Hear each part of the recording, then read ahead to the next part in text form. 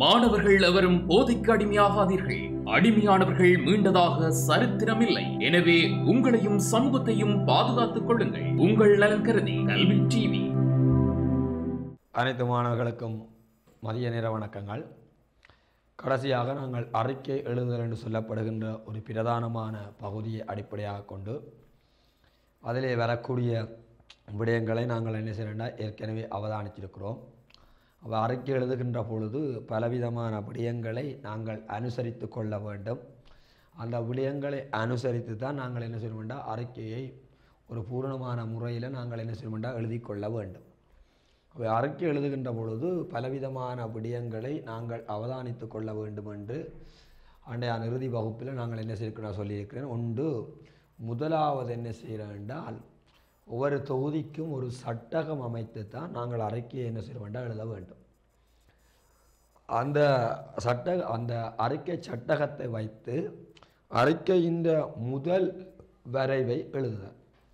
அடுத்தது அறிக்கை எது பற்றி என்பதை அறிக்கை என்னத்தை பற்றி சொல்லுது என்பதை சுருக்கமாக கூறுகின்ற ஒரு முன்னுரை ஒன்று இருக்க வேண்டும்.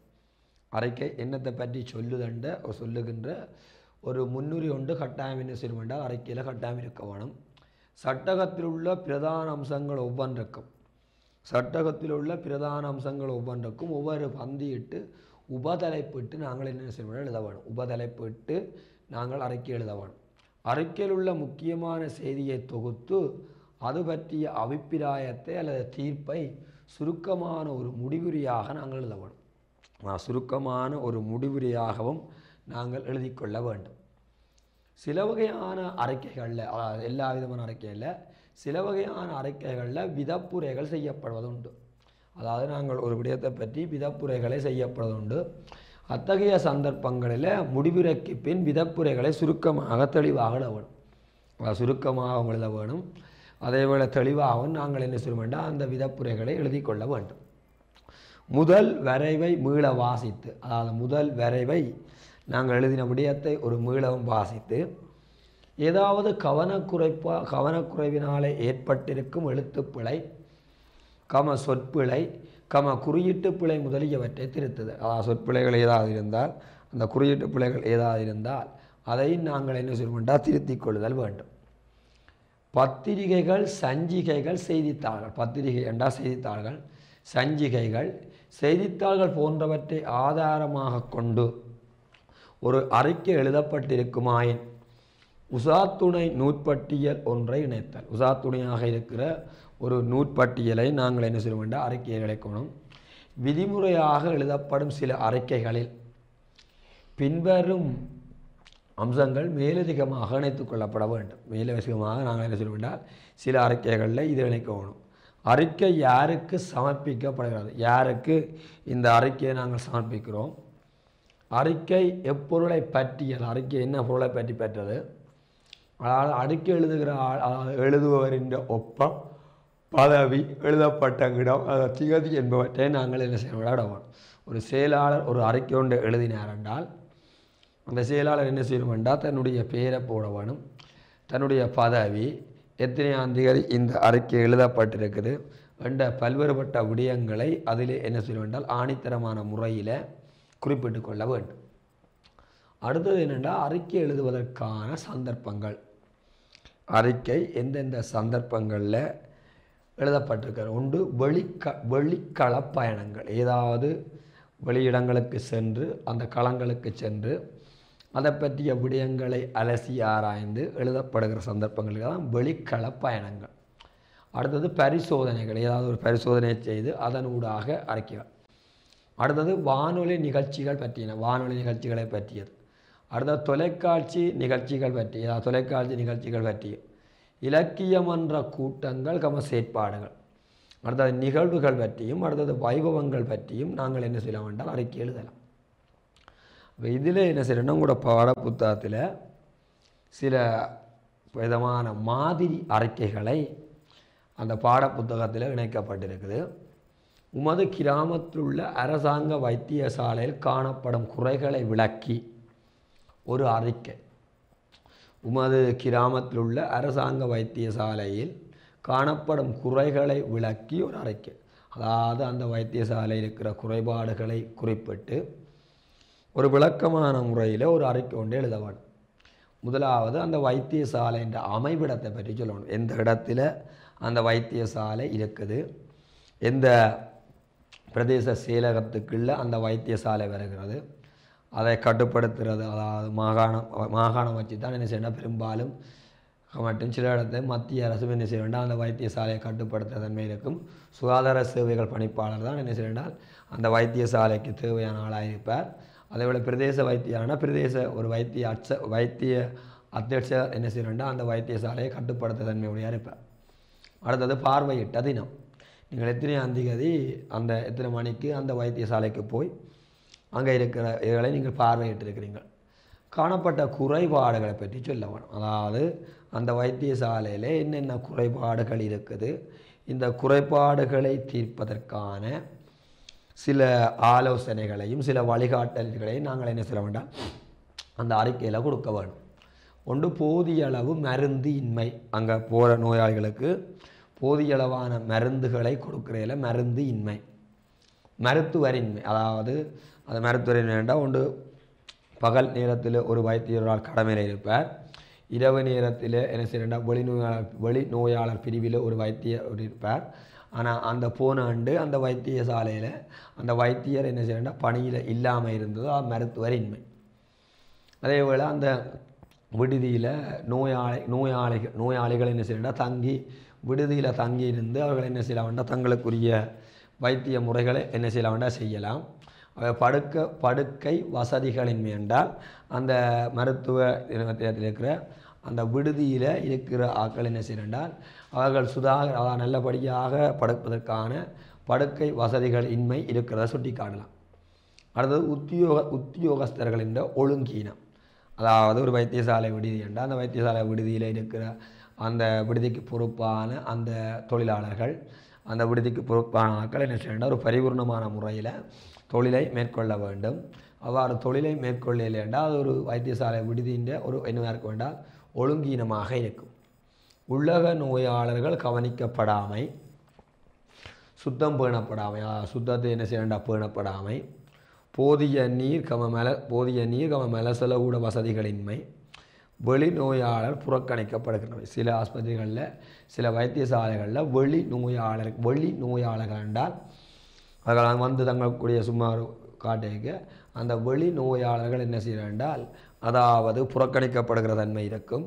நோயாளர்களுடன் நேயமாக நடந்து கொள்ளாமல் போகணும் நோயாளர்களுடன் நேயமாக அன்பாக சில வைத்தியசாலைகள் என்ன செய்யறா நோயாளர்களோட அங்கே இருக்கின்ற வைத்தியர் உட்பட ஏனைய தொழிலை பார்க்கிற ஆக்கள் என்ன செய்யணும்னா ஒரு அன்பாக பரிவாக கதைப்பதில்லை. எப்போவும் என்ன செய்யறா ஒரு எடுத்தறிஞ்சு கதைக்கிற மாதிரியான தன்மைகளை நாங்கள் என்ன செய்யறோம் வைத்தியசாலைகளில் என்ன செய்யறோம் அவதானித்து கொள்ளலாம் அதே போல் அங்கே இருக்கிற அங்கே இருக்கிற அந்த பாதுகாப்பு உத்தியோகத்தர் என்ன செய்வார் என்றால் அந்த வைத்தியசாலை விடுதியில் இருக்கிற ஆக்களை சாப்பாடுகள் கொண்டு வர போது அங்கே என்ன செய்கிறாங்கன்னா அந்த விடுதியில் இருக்கிற ஆக்களோட அந்த அங்கே நிற்கிற அந்த பாதுகாப்பு உத்தியோகத்தர் என்ன செய்வார் என்றால் ஒரு அடிக்கிற மாதிரி இல்லை அந்த ஒரு வாய் தாக்கங்கள் வந்து என்ன செய்கிறேன்னா சில வேளை பிரச்சனைகள் முடியக்கூடிய தன்மையும் என்ன செய்யறேன்டா காணப்படுகிறது. அவை குறைபாடுகளை தீர்ப்பதற்கான ஆலோசனை. அப்போ இந்த குறைபாடுகளை தீர்ப்பதற்கான ஆலோசனை என்றால் ஒன்று முதலாவது அவர்களை நாங்கள் சுட்டி காட்டுகிற சந்தர்ப்பத்தில் அந்த குறைபாடுகளை தீர்க்கின்ற பொழுதுதான் என்ன செய்கிறேன்டா ஒரு பரிபூரணமான ஒரு நம்பிக்கை உண்டு. அந்த பிரதேசத்தில் உள்ள மக்கள் மத்தியிலே என்ன செய்ய ஏற்படுத்தப்படும். குறைபாடுகளை சுட்டி காட்டியும் அந்த குறைபாடுகளை அவர்கள் திருத்தவில்லை என்றால் அந்த குறைபாடுகளை சுட்டி காட்டுவதாலே எந்த விதமான பயன்பாடுகளும் என்ன செய்யலண்டா ஏற்பட போவதில்லை ஒரு வைத்தியசாலை குறைபாடு இருக்குன்னா அந்த குறைபாடுகளை சொல்லி இந்த குறைபாடுகளை தீர்ப்பதற்கு இன்னென்ன விதமான நடைமுறைகளை நீங்கள் பின்பற்ற வேண்டும் என்று சொல்கிறது என்னவாக இருக்கும்டா ஒரு பொருத்தமான ஒரு வழிமுறையாக இருக்கும் என்று நாங்கள் என்ன செய்ய வேண்டாம் கருதலாம். அந்த குறைபாடுகளை தீர்ப்பதற்கான ஆலோசனைகளையும் நாங்கள் என்ன செய்யணும் வேண்டாம் வழங்கிக் கொள்வ வழங்கிக் கொள்ள வேண்டிய தேவைப்பாடு இருக்கிறது. அடுத்தது போட்டிருக்குது இலங்கையின் அறுபத்தெட்டாவது சுதந்திர தினத்தை முன்னிட்டு உமது பாடசாலை கலை இலக்கிய மன்றம் நடத்த திட்டமிட்டுள்ள இலக்கிய கலை விழா பற்றிய அறிக்கை. இலக்கிய கலை விழா பற்றிய அறிக்கை. கலை விழா எங்கே எப்போது யாருடைய தலைமையில் நடைபெறுகிறது என்று சொல்லணும் ஒரு பாடசாலைன்னா ஒரு பாடசாலையின் கலை விழா எங்கே நடக்க போகுது?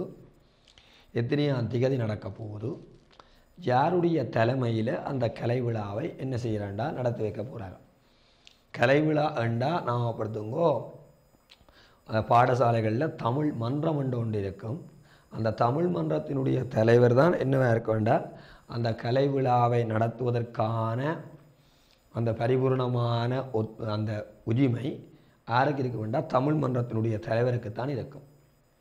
அதே மாதிரி வரவேற்பு உரையார் செய்கிறாது அந்த அந்த இதென்றால் அந்த வரவேற்புரையை யார் செய்கிறது சில வேளை அந்த தமிழ் மன்றத்தினுடைய பொருளாளர் அல்லது அந்த செயலாளர் பெருமாள் நன்றியுரை பொருளாளர் அல்லது வேறு பதவியில் உள்ள ஆட்களுக்கு என்ன செய்யலாண்டால் அந்த வரவேற்புரையை வழங்குவதற்கான அந்த வாய்ப்பினை நாங்கள் என்ன செய்யலாம்? ஏற்படுத்தி கொடுக்கலாம்.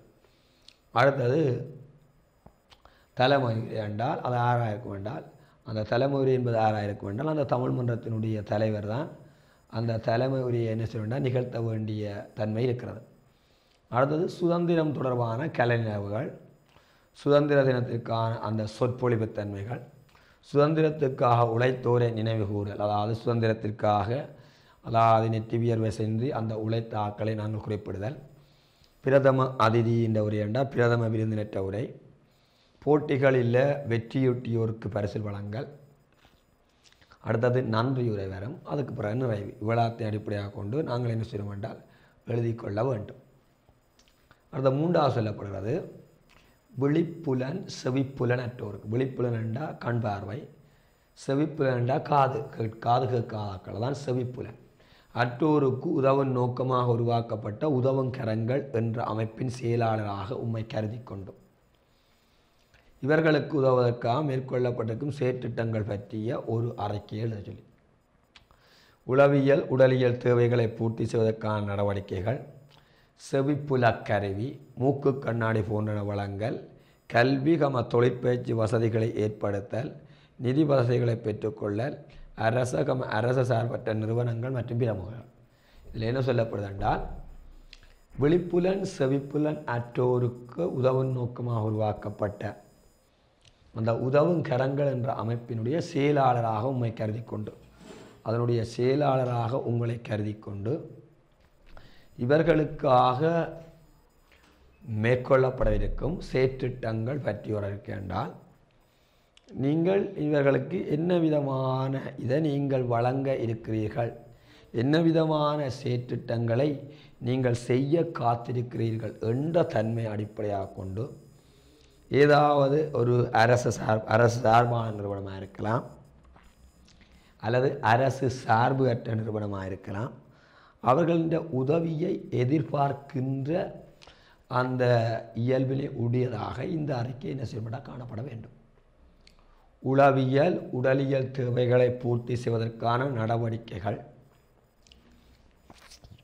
செவிப்புலக் கருவி மூக்கு கண்ணாடி போன்றன வழங்கல்.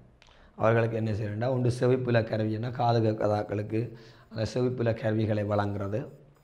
கண் பார்வை தெரியாதாக்களுக்கு மூக்கு கண்ணாடிகளை வழங்குறது. அவர்கள் கண்ட குறைபாடுகளை இனங்கண்டு இவர்களுக்கு இவ்வளவு மூக்கு கண்ணாடி தேவை.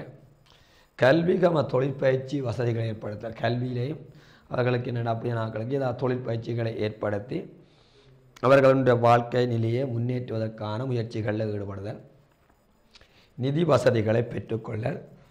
அரச அரச சார்பு அற்ற நிறுவனங்கள் மற்றும் பிரமுகர்கள் அடுத்தது நீங்கள் வாழும் பிரதேசத்தில் நீங்கள் வாழுகின்ற ஒரு பிரதேசத்தில் வெள்ளத்தால் பாதிக்கப்பட்ட மக்கள் குடிசைகளிலும் கூடாரங்களிலும் பாடசாலைகள் மற்றும் சமய நிறுவனங்களில் வாழ்ந்து கொண்டிருக்கிறார்கள். அதாவது நீங்கள் வாழுகிற பிரதேசத்தில் வெள்ளத்தால் பாதிக்கப்பட்ட மக்கள் குடிசைகளிலும் கூடாரங்களிலும் பாடசாலைகள் மற்றும் சமய நிறுவனங்களில் வாழ்ந்து கொண்டிருக்கிறார்கள். அவர்களுக்கு வீடுகள் அமைத்து தர வேண்டும் என வினியமாக கேட்டு வீடு அமைப்பு அமைச்சருக்கு ஒரு அறிக்கை. உண்டு விடயம் பற்றிய தலைப்பிடுறது இந்த யாருக்கு சமர்ப்பித்தல் என குறிப்பது யாருக்குன்னா வீடு வச்சு அமைச்சருக்கு தான் நாங்கள் இந்த அறிக்கையை சமர்ப்பிக்கிறோம். ஒன்று நியம மொழியில் எழுதுகிறது அறிக்கையை பந்தி பிரித்து எழுதுதல் அல்லது பந்திகளுக்கு உபதலைப்பட்டு எழுதுதல். அறிக்கையானது பிரச்சனைகளையும் அதற்கான தீவுகளையும் சுட்டி காட்டுவதாக அமைந்திருக்க வேண்டும். யாரால் சமர்ப்பிக்கப்படுகின்றது என குறிப்பிட யாரால் இந்த அறிக்கை சமர்ப்பிக்கப்படுது என்றால் அது இந்த கிராமத்தினுடைய ஒரு ஆளாக அல்லது ஒரு கிராமத்தினுடைய ஒரு சனசம நிலையத்தினுடைய ஒரு செயலாளராக உங்களை கருதி கொண்டு நீங்கள் என்ன செய்யலாம் வேண்டாம் அந்த வீடமைப்பு அமைச்சருக்கு இந்த அறிக்கையை நீங்கள் என்ன செய்யலாம் வேண்டால் எழுதி கொள்ளலாம். அறிக்கையில் இடம்பெற வேண்ட விடயங்கள். பாதிக்கப்பட்ட பிரதேசம் பாதிக்கப்பட்ட பிரதேசம் பாதிக்கப்பட்ட குடும்பங்கள் பற்றிய விவரம் என்றால் அந்த வெள்ள அனர்த்தத்தால் எங்களுடைய கிராமத்தில் இருக்கிற பெரும்பாலான அந்த ஏழை கு ஏழை குடியானவர்கள் அந்த வெள்ள அனர்த்தத்தால் என்ன செய்கிறாண்டா பாதிக்கப்பட்டிருக்கிறார்கள். இந்த பாதிக்கப்பட்டதாக குறைஞ்சது எங்களை நூறு ஒரு எழுபத்தஞ்சு வீதமான அந்த மக்கள் அந்த வெள்ள அனர்த்தத்தால் பாதிக்கப்பட்டிருக்கிறோம் தற்காலிக இருப்பிடங்களில் வாழ்வதனால் அனுபவிக்கும் சிரமங்கள் அவர்கள் தற்காலிக அந்த குடியிருப்புகளில் வாழ் தற்காலிக இருப்பிடங்களில் அவர்கள் வாழ்வதால் அனுபவிக்க சிரமங்கள் உண்டு. அடிப்படை வசதிகளற்ற வாழ்க்கை. ஒரு சுகாதார சீர்கேடு காணப்படும். கல்வியின் ஒரு பின்னடைவு. ஒழுக்க சீர்கேடு மற்றும் பிற. இது தொடர்பாக முன்னர் மேற்கொண்ட நடவடிக்கைகள் பயனளிக்க. இதுக்கு முன்னர் நாங்கள் என்ன செய்ய வேண்டால் சில நிறுவனங்களில் என்ன செய்ய வேண்டாம் உதவிகளை கேட்டிருக்கிறோம். உறவுகளை கேட்டு அவர்களுக்கு நாங்கள் கடிதங்களை அனுப்பி இருக்கின்றோம். ஆனாலும் அவர்கள் எங்களுக்கு என்ன செய்ய பொருத்தமான வசதி வாய்ப்புகளை அவர்கள் எங்களுக்கு என்ன செய்யலண்டா இந் இந்த இதுவரைக்கும் ஏற்படுத்தி தரவில்லை. நிரந்தர இருப்பிடங்கள் அமைத்து கொடுக்கும்படி வினயமாக வேண்டும்.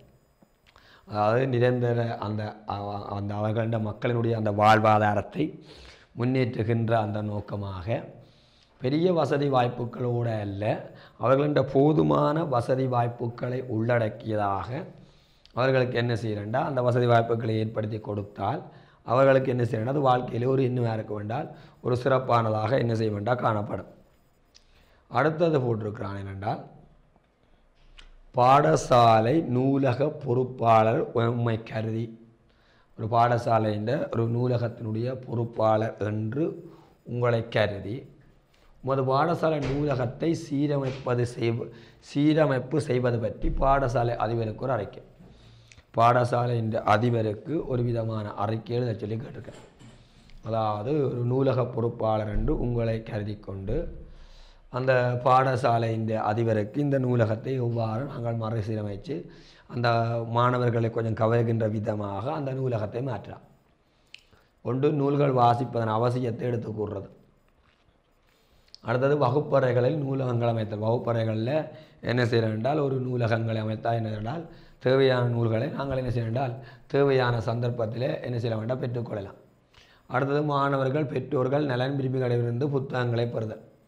மாணவர்களாக இருக்கலாம் பெற்றோர்களாக இருக்கலாம் நலன் விரும்பிகள் வாக்கிலிருந்து அந்த புத்தகங்களை பெற்று அந்த புத்தகங்களை என்ன செய்கிறாட வச்சிருக்கிறது. அடுத்தது நூலக வாரத்தை ஒழுங்கு செய்தல். நூலக வாரம் என்றால் ஒரு குறிப்பிட்ட ஒரு கிழமையை நூலக வாரம் என்று சொல்லி அதை ஒழுங்குபடுத்தி அதை என்ன செய்கிறேன்டா மக்கள் அதாவது மாணவர்கள் மத்தியிலே அந்த நூலகம் சம்பந்தமான விடயங்களை என்ன செய்கிறேன்டா அதை குறிப்பிட்டுக் கொள்வது. அதாவது வெளிநாட்டு தூதரகங்கள் தேசிய நூலகம் அரச அரசவற்ற நிறுவனங்கள் மூலம் நூல்களை பெற்றுக்கொள்ள. அதாவது அந்த நூலகத்தை விஸ்திர விஸ்தீரணப்படுத்த வேண்டுமென்றால் அந்த நூல்களை நாங்கள் வேறு வேறு இடங்களில் இருந்து அதாவது அதை பெற்று அந்த நூல நூல்களை பெற்று அந்த நூலகத்தை என்ன செய்யணும்னா கொஞ்சம் விஸ்தீரணப்படுத்தலண்டா என்னென்றால் அந்த நூலகத்தை என்ன செய்யணும்னா முதல்ல ஒரு கொஞ்சம் நூல் இருந்தால் பிறகு எந்த நூலையும் எந்த சந்தர்ப்பத்திலையும் பெறக்கூடிய வகையில் அந்த நூலகத்தை கொஞ்சம் என்ன செய்யணும்னா மாற்றி ஏற்பாட்டை அமைச்சு செய்யலால் கொஞ்சம் பிறப்பிக்கிறது அடுத்த நூலக பயிற்சிகளை கொடுத்தல் நூலக பயிற்சிகளை கொடுத்தல் முறையாக பட்டியலாக்கம் செய்து இலக்கமிடுதல் அதாவது முறையாக பட்டியலாக்க வேண்டாம். நூல்களை எந்தெந்த நூல்கள் எந்தெந்த அலைமையில் இருக்குது அந்த நூல்களுக்கு எண்ணிக்கையை போட்டு அந்த தேவையான நூல்களுக்குரிய அந்த இலக்கங்களை என்ன செய்ய வேண்டாம் அமைச்சு கொள்வது. நேர சூசியில் நூலக பயன்பாட்டுக்கு நீ நமது அதாவது நேர சூசியில் ஒவ்வொரு நாளும் ஒரு வகுப்புக்கு என்ன செய்யறேன்னா அந்த நூலகத்தில் போய் தங்களுடைய சுய பயிற்சியை மேற்கொள்ளும் விதமாக அவர்களை என்ன செய்யறா அதை அமைத்துக்கொள்ள வேண்டும். பல்வேறுபட்ட சஞ்சிகைகள் பத்திரிகைகள் நாளிதழ்கள் போன்றவற்றை பெற்று அனைவருக்கும் வாசிக்க சந்தர்ப்பம் அளித்தல். அதாவது அனைத்து ஆக்களும் அந்த நூலகத்தில் போய் அந்த நூல்களை வாசிக்கக்கூடிய வகையில் என்ன செய்கிறாண்டா அந்த நூல்களை அமைத்து கொள்வது அதாவது தேவையான நேரத்தில் தேவையான புத்தகங்களை நாங்கள் பெறக்கூடிய வாய்ப்புகளை ஏற்படுத்துகிற மட்டுமில்லாது வருகிற அதாவது பத்திரிகைகள் ஒவ்வொரு நாளும் வார பத்திரிகைகள் அல்லது வாரத்துக்கு ஒரு தடவை வார பத்திரிகைகள் சஞ்சிகைகள் நூல்கள் புதுவிதமாக அதாவது மாணவர்களின் அறிவை மேம்படுத்துகின்ற விதமாக இருக்கின்ற புதிய புதிய நூல்களை எல்லாம் என்ன செய்யறேன்டா? அந்த நூலகத்துக்கு கொண்டு வந்து அதை என்ன செய்யலாண்டா கொடுப்பதனூடாக மாணவர்களின் அந்த நூலக அந்த ஆற்றலை நாங்கள் என்ன செய்யலாம் என்றால் அதிகரித்து கொள்ள முடியும். அந்த மாணவர்களின் அந்த நூலக ஆற்றலை அந்த நூல்களை வாசிக்க வேண்டும் என்று சொல்லப்படுகின்ற அந்த திறமைகளை நாங்கள் என்ன செய்ய வேண்டால் அதை நாங்கள் மேம்படுத்தி கொள்ள முடியும். நூலகம் என்பது என்ன இருக்க வேண்டாம் ஒரு மாணவனுக்கு கட்டாயம் நூலகம் என்பது அதாவது நூலகத்தில் போய் புத்தகங்களை வாசிப்பதனூடாக பலவிதமான விடயங்களை அவனால் என்ன செய்ய முடியும் என்றால் இனங்கண்டு கொள்ள முடிவது மட்டுமல்லாது அந்த தேவையான தரவுகளையும் தேவையான தகவல்களையும் நாங்கள் என்ன செய்ய நூலகத்தில் போய் என்ன செய்ய வேண்டாம் பெற்றுக்கொள்ளக்கூடிய அந்த நிலைமைகள் என்ன செய்ய வேண்டாம் காணப்படும். இந்த விடயங்களை அடிப்படையாக கொண்டு நாங்கள் என்ன செய்வோம் என்றால் அதாவது நாங்கள் அரைக்கையை என்ன செய்ய வேண்டாம் எழுத வேணும். அரைக்கை என்பது பகுதி ரெண்டில் வார ஒரு பதினஞ்சு புள்ளிக்கு உரி பதினஞ்சு புள்ளிக்கு உரித்தான ஒரு விடயம்தான் என்னவாக இருக்க அறிக்கை அறிக்கையை நாங்கள் என்ன செய்ய வேண்டாம் எழுதலாம் அறிக்கை எழுதுவது நூறு சொற்களுக்கு குறையாமல் நாங்கள் என்ன செய்ய வேண்டாம் அறிக்கை எழுத முற்பட வேண்டும். அறிக்கை வரும் அல்லது தொழில்முறை கடிதம் ஒன்று வரும். தொழில்முறை கடிதத்தில் நாங்கள் எழுதும் போது என்ன செய்ய வேண்டால் அதிகளவான புள்ளிகளை நாங்கள் பெற்றுக்கொள்ளக்கூடிய அந்த வாய்ப்பு நிலைமை என்ன செய்ய வேண்டாம் காணப்படும். அறிக்கையை விட தொழில்முறை கடிதத்தை எடுத்து எழுதியக்கு நாங்கள் என்ன செய்ய வேண்டால் அதிகளவான புள்ளிகளை நாங்கள் பெற்றுக்கொள்ளக்கூடிய அந்த வாய்ப்பு நிலைமை என்ன செய்ய வேண்டால் காணப்படும். இப்ப அறிக்கையை விட நாங்கள் தொழில்முறை கடிதத்தை எழுதியக்கு எங்களுக்கு என்ன செய்ய வேண்டால் அதிகளவான புள்ளிகள் கிடைக்கக்கூடிய வாய்ப்பு நிலைமை என்ன செய்ய வேண்டாம் காணப்படுகிறது. அவை என்னென்றால் இது அறிக்கை பற்றிய ஒரு விடயமாக நாங்கள் என்ன செய்ய வேண்டாம் காணப்படுகிறது. அறிக்கை அடுத்தது தொழில்முறை கடிதம் ரெண்டும் முக்கியமான அறிக்கை அடுத்தது தொழில்முறை கடிதம் அதை விட என்னொன்று இருக்குது துண்டு பிரசுரம் இந்த மூன்றும் என்னவாக இருக்க வேண்டாம் ஒரு மிக பிரதானமான விடயம் ஆனால் இதில் நாங்கள் தொழில்முறை கடிதம் எழுதுகின்ற பொழுது அதிகளவான புள்ளிகளை எங்களால் என்ன செய்ய முடியும் என்றால் பெற்றுக்கொள்ளக்கூடிய வாய்ப்பு நிலைமை இருக்குது தொழில்முறை கடிதத்தை நாங்கள் எழுதியக்க அந்த முகவரி உள்முகவரி விழிப்பு விடயத்தலைப்பு செய்தி நன்றி முடிப்பு கையொப்பம் என்று சொல்லப்படுகிற அந்த விடயங்கள் வரையக்க எங்களுக்கு அதிகளவான புள்ளிகள் என்ன செய்யறா கிடைக்கக்கூடிய அந்த வாய்ப்பு நிலைமைகள் என்ன செய்யறா காணப்படுகிறது. அதுக்கு பிறகு இனி நாங்கள் படிக்க வேண்டிய ஒரு பகுதி இது வாக்கியங்கள் என்று சொல்லப்படுகின்ற ஒரு பகுதி. ஏற்கனவே நாங்கள் இதை பற்றி எத்தனையாம் ஆண்டுலேண்டா? பத்தாம் ஆண்டில் இந்த வாக்கிய வகையை பற்றி ஏற்கனவே நாங்கள் என்ன செய்ய படிச்சிருக்கிறோம். வாக்கிய வகையை பற்றி ஏற்கனவே நாங்கள் என்ன செய்ய என்றால் படைச்சிருக்கிறோம். அதே விடயம் என்ன செய்கிறேன்டா இங்கேயும் என்ன செய்கிறேன்டா திரும்பி வருகிறது. அந்த வாக்கியம் என்று சொல்லப்படுகிற விடயம் பிறகு பதினோராம் ஆண்டிலேயும் அப்படியே திரும்பி என்ன செய்கிறேன்டா வருகிறது. அந்த விடயத்தை நாங்கள் என்ன செய்ய வேண்டாம் ஞாபகப்படுத்திக் கொள்ள வேண்டும். வாக்கியங்கள். இது பத்தாம் ஆண்டில் வந்த ஒரு பிரதானமான இலக்கண பகுதி. அப்படியே பதினோராம் ஆண்டு வரையும் அந்த இலக்கண பகுதி மீண்டும் மீண்டும் வருகிறது. வாக்கியம் என்றா என்னவென்றால் அது முதல் தெரிய வேணும். பொருள் தரத்தக்க வகையில் பொருள் தரத்தக்க வகையில் சொற்கள் ஒரு குறிப்பிட்ட ஒழுங்குமுறைக்கு ஏற்ப ஒன்றுடன் ஒன்று அமைப்பு ரீதியாக இணைந்து ஒரு முற்றுப்பெற்ற ஒரு பொருளை தருமாயின் அதனை வாக்கியம் என்று சொல்லுவோம். அதாவது பொருள் தரத்தக்க வகையில் சொற்கள் ஒரு குறிப்பிட்ட ஒழுங்குமுறைக்கு ஏற்ப ஒன்றுடன் ஒன்று அமைப்பு ரீதியாக இணைந்து முற்று பெற்ற ஒரு பொருளை என்றால் அதற்கு வழங்கப்படுகிற வாக்கியம் என்று சொல்லப்படும். வாக்கியம் என்றால் என்னவாக இருக்கும் என்றால் ஒரு சொற்கள் ஒரு அமைப்பு ரீதியாக இணைய வேண்டும். அமைப்பு ரீதியாக இணைந்து ஒரு முற்றுப்பெற்ற ஒரு பொருளை தரும் என்றால் தான் அதை நாங்கள் என்னென்னு சொல்ல வேண்டாம் வாக்கியம் என்று சொல்லுவோம். அமைப்பு ரீதியாக இணையாமலும் அதேபோல் பொருளை தரவில்லை என்றால் அதை நாங்கள் என்னென்னு சொல்ல முடியாது என்றால் வாக்கியம் என்று நாங்கள் என்ன செய்ய முடியாது என்றால் குறிப்பிட முடியாது. பொருள் தரத்தக்க வகையில் சொற்கள் ஒரு குறிப்பிட்ட ஒழுங்குமுறைக்கு ஏற்ப ஒன்றுடன் ஒன்று அமைப்பு ரீதியாக இணைந்து ஒரு முற்றுப்பெற்ற பொருளை தரும் என்றால் அதை சொல்லுவோம் வாக்கியம் என்று சொல்லுவோம். வாக்கியங்கள் என்பதை நான் இருக்க வேண்டாம் மிக பிரதானமான விடயம். இந்த வாக்கியத்தை நாங்கள் அமைப்பின் அடிப்படையிலும் வகைப்படுத்த முடியும். வாக்கியங்களை பொருளின் அடிப்படையில் நாங்கள் என்ன செய்ய வேண்டாம் வகைப்படுத்த முடியும். அமைப்பின் அடிப்படையில் நாங்கள் வகைப்படுத்தலாம். பொருளின் அடிப்படையில் நாங்கள் என்ன செய்ய வேண்டாம்? வகைப்படுத்த முடியும். அமைப்பின் அடிப்படை என்றால் அந்த வாக்கியத்தில் வருகின்ற எழுவாய் கம பயனிலை என்பவற்றை அடிப்படையாக கொண்டது அமைப்பின் அடிப்படை என்று கருதப்படும். எழுவாய் கம பயனிலை என்பவற்றை அடிப்படையாக கொண்டது அமைப்பின் அடிப்படை. அந்த வகையில் தனி வாக்கியம் கூட்டு வாக்கியம் கலப்பு வாக்கியம் என்று வரும். பொருள் அடிப்படையாண்டா அந்த வாக்கியம் கூறுகின்ற செய்தியினை அடிப்படையாக கொண்ட வகைப்பாடு. என்னவாக இருக்க வேண்டாம் பொருள் அடிப்படையிலான வகைப்பாடு. செய்தியை அடிப்படையாக கொண்ட வகைப்பாடு. பொருள் அடிப்படையிலான வகைப்பாடு. அந்த வகையில் கூற்று வாக்கியம் வினா வாக்கியம் ஏவல் வாக்கியம் வியங்கோல் வாக்கியம் மெய்ப்பாட்டு வாக்கியம் அல்லது உணர்ச்சி வாக்கியம்னு சொல்லப்படும். கூற்று வாக்கியம் வினா வாக்கியம் ஏவல் வாக்கியம் வியங்கோல் வாக்கியம் மெய்ப்பாட்டு வாக்கியம் அல்லது உணர்ச்சி வாக்கியம் என்று என்ன செய்கிறேன்டா சொல்லப்படும். அமைப்பின் அடிப்படையிலையும் வகைப்படுத்த முடியும். பொருளின் அடிப்படையிலும் வகைப்படுத்த முடியும். அமைப்பின் அடிப்படையில் தனி வாக்கியம் கூட்டு வாக்கியம் கிளப்பு வாக்கியம்னு சொல்லுவோம். பொருள் அடி கூற்று வாக்கியம் வினா வாக்கியம் ஏவல் வாக்கியம் வியங்கோல் வாக்கியம் மெப்பாட்டு வாக்கியம் அல்லது உணர்ச்சி வாக்கியம் என்று சொல்லப்படும். இது நாங்கள் தெரிஞ்சிருக்க வேண்டிய விடயம் அவை வாக்கியங்கள். பொருள் தரத்தக்க வகையில் சொற்கள். ஒரு குறிப்பிட்ட ஒழுங்குமுறைக்கு ஏற்ப.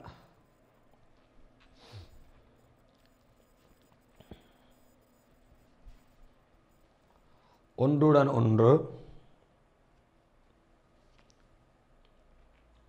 அமைப்பு ரீதியாக இணைந்து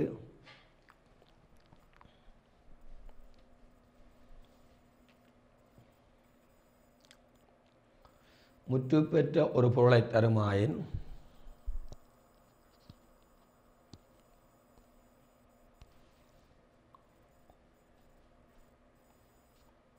அதனை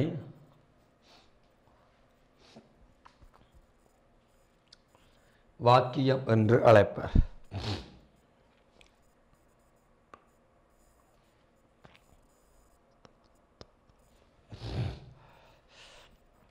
உதாரணம்.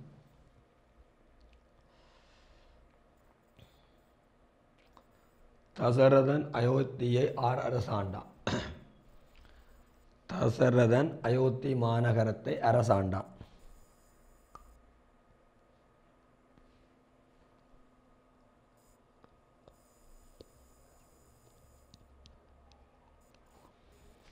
சோமசுந்தர புலவரின் பாடல்கள்.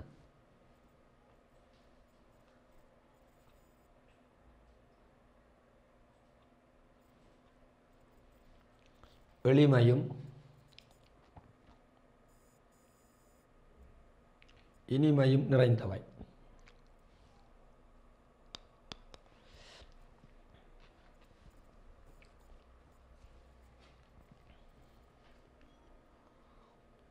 உமர் புலவர். சொற்சுவை மிகுந்த.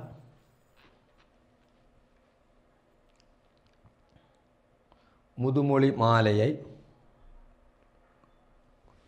இயற்றினார்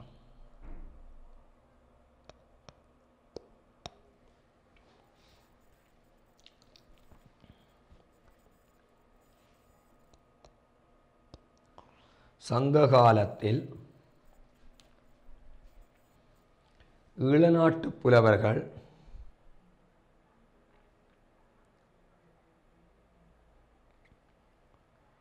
தென் இந்தியாவுக்கு சென்று அங்கு நிறுவப்பட்ட சங்கங்களில்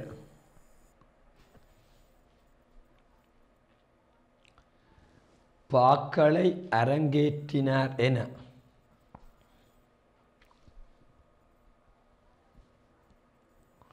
சங்க நூல்கள் வாயிலாக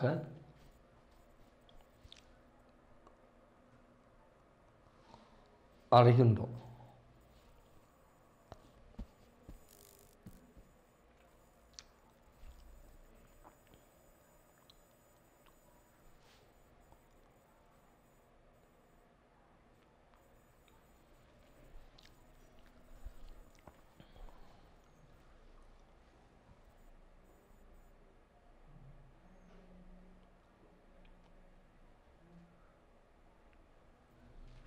இனி சின்னொரு தலையங்கம் போடுங்க வாக்கியத்தின் வகைகள்.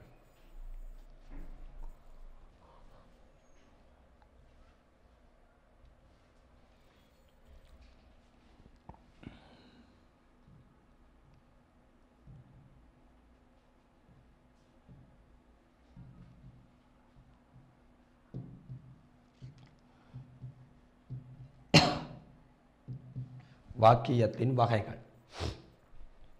வாக்கியத்தை நாங்கள் என்ன செய்யலாம் என்றால் ரெண்டு பிரதான அடிப்படைகளில் வகைப்படுத்த முடியும். ஒன்று அமைப்பினுடைய அடிப்படை. ஒன்று முதலாவது அமைப்பின் உடைய அடிப்படையாக இருக்கும். ஒன்று முதலாக சொல்லப்படுகிறது அமைப்பினுடைய அடிப்படையிலான வகைப்பாடு. ரெண்டாவது எண்ணத்தின் அடிப்படையிலான வகைப்பாடு என்றால் பொருள் அடிப்படையிலான வகைப்பாடு. ஒன்று அமைப்பின் அடிப்படையிலான வகைப்பாடு. அடுத்தது பொருள் அடிப்படையிலான வகைப்பாடு.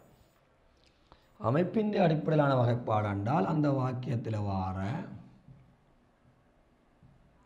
எழுவாய் பயனிலை என்பவற்றை அடிப்படையாக கொண்ட வகைப்பாடு அமைப்பின் அடிப்படையிலான வகைப்பாடு எனப்படும். எழுவாய் பயனிலை என்பவற்றை அடிப்படையாக கொண்ட வகைப்பாடு அமைப்பினுடைய அடிப்படை. பொருள் அடிப்படை என்றால் அந்த வாக்கியம் ஒன்று கூறுகின்ற செய்தியை அடிப்படையாக கொண்ட வகைப்பாடு பொருள் அடிப்படையிலான வகைப்பாடு. அமைப்பின் அடிப்படை என்றால் அந்த வாக்கியம் கூறுகின்ற எழுவாய் பயனிலை என்பவற்றை அடிப்படையாக கொண்ட வகைப்பாடு அமைப்பின் அடிப்படையிலான வகைப்பாடு. பொருள் அடிப்படையிலான வகைப்பாடு என்றால் அந்த வாக்கியம் கூறுகின்ற செய்தியை அடிப்படையாக கொண்ட வகைப்பாடு பொருள் அடிப்படையான வகைப்பாடு. அமைப்பின் அடிப்படையில் பார்த்தீங்களென்றால் ஒன்று முதலாவது வருகிறது தனி வாக்கியம் ஒன்று ஒன்று இருக்குது. தனி வாக்கியம். ரெண்டாவது இருக்குது என்ன வாக்கியம் என்றால் கூட்டு வாக்கியம். ஒன்று தனி வாக்கியம் அடுத்தது கூட்டு வாக்கியம். அடுத்தது ஒன்று இருக்குது கலப்பு வாக்கியம் தனி வாக்கியம் அடுத்தது கூட்டு வாக்கியம் அடுத்தது ஒரு வாக்கியம் இருக்குது கலப்பு வாக்கியம் இந்த மூன்றும் அமைப்பின் உடைய அடிப்படையிலான வகையாக இருக்கும் தனி வாக்கியம் கூட்டு வாக்கியம் கலப்பு வாக்கியம் பொருள் அடிப்படையிலான வகைப்பாடு என்றால் அந்த வாக்கியம் கூறுகின்ற செய்தியினை அடிப்படையாக கொண்ட வகைப்பாடு. அதுக்கு கூற்று வாக்கியம் ஒன்று கூற்று வாக்கியம். ரெண்டாவது வினா வாக்கியம். அடுத்தது ஏவல் வாக்கியம்.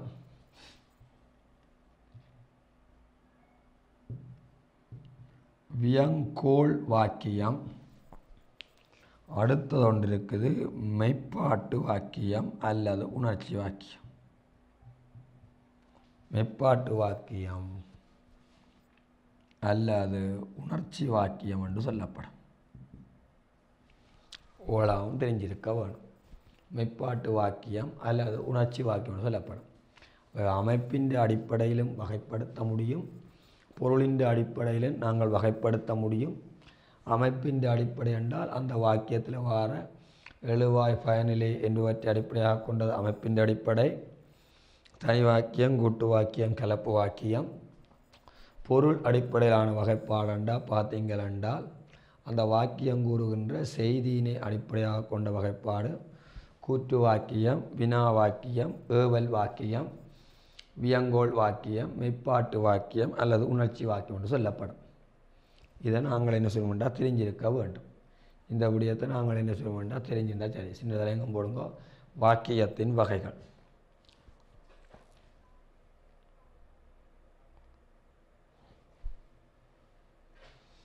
எழுதுங்கோ. வாக்கியத்தை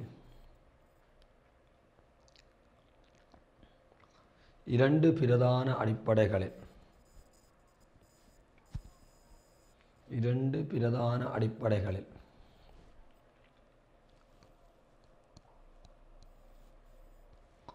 வகைப்படுத்த முடியும்.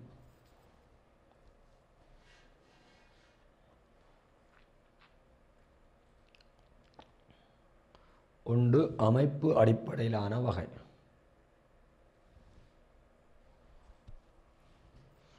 ரெண்டாவது பொருள் அடிப்படையிலான வகை.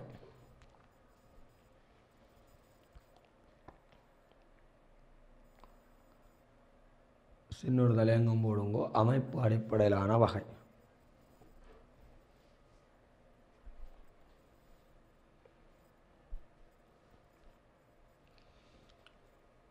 வாக்கியத்திலே வருகின்ற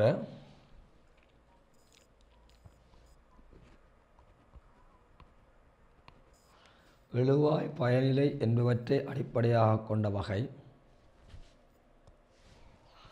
எழுவாய் கம பயனிலை என்பவற்றை அடிப்படையாக கொண்ட வகை.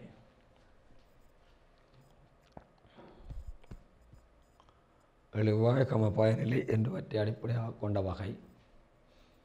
அமைப்பு அடிப்படையிலான வகை எனப்படும். அமைப்பு அடிப்படையிலான வகை எனப்படும். அதன் அடிப்படையில்